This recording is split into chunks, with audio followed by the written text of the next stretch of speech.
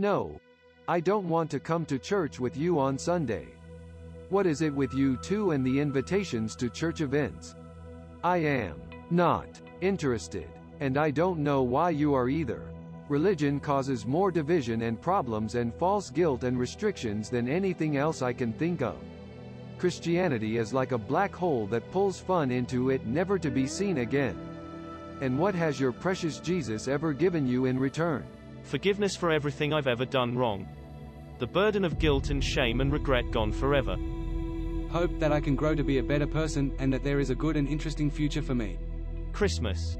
Well, yes, obviously Christmas. Christmas goes without saying, but apart from forgiveness, hope, and Christmas, He's given me the Holy Spirit. And written his laws on my heart.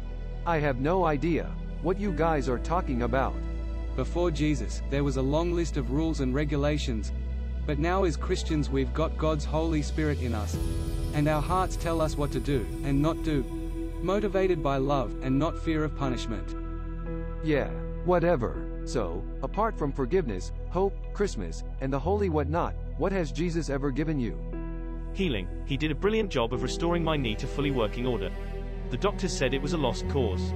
Yes, having prayers answered is also amazing.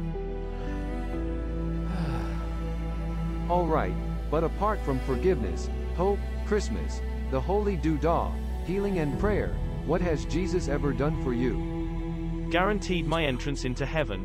Yes, you are right. Let's face it. He's the only one who could get us into heaven. Alright, alright. Apart from forgiveness, hope, Christmas, the holy thingy, healing, prayer, and entrance into heaven, what essel has Jesus ever done for you? Brought peace of mind. Oh shut up, or, I'll give you a piece of my mind.